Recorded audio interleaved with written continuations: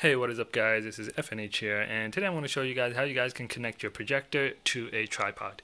Okay, so I had this uh, projector uh, for a little while now and I haven't been using it mainly because I hadn't had a place to put it on, right? And I didn't really want to buy any extra add-ons to mount it to the wall or ceiling or anything right? Um, and not only that, I wanted it to be removable, so I didn't want it to be, you know, on a table just over there, so I can't use the table anymore. So you know that's when I started looking into whether if I can use my tripod uh, for my projector, and luckily I can. And this method works with almost all tripods and projectors um, without buying any extra equipment.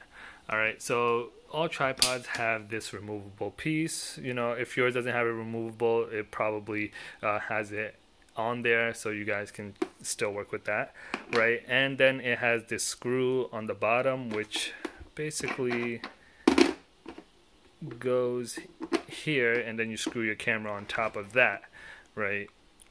So mine this was locked in place so I had to get a knife to kind of uh, take off that lock in between here somewhere right? And then um, it comes out. All right so that, that's basically how you want to have it right? And now for the projector part let me pick that up. So you can see the screw over here right? Um, let me unscrew it. So you know if this is on a table this can be used to make the projector screen up a little right? Um, so that's I guess what it's used for. And there's other holes over here also three different holes uh, that I'll probably use for mounting. But you know I didn't really want to use those. So basically what you need to do is take this out all the way. Now we have this over here. And we need to using one hand. So just basically put the screw through that. Okay, and now you can screw it back in. Alright, it's kind of hard to do with one hand, especially if it's your left hand. Let me just pause it for a second and screw it in.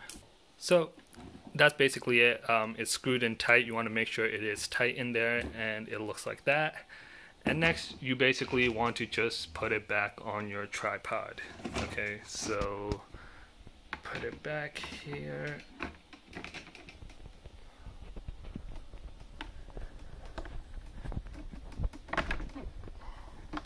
Alright, so now it's in place. You guys can see on the bottom over here, right? Um, it's in, you obviously I need to adjust this, right? Um, so it's facing up right? Um, and that's basically it, you know, and this won't fall. So you're probably thinking most of the weight is on the front of the projector, right? Um, and it is, but the projector is fairly light. So, you know, it's not going to you you really don't have a worry of this tipping over backwards like that or this you know cracking and falling over um, I've been using it like this for you know probably a month now every day and so far no issues. It works great easy to adjust especially since it's a pri- uh, tripod.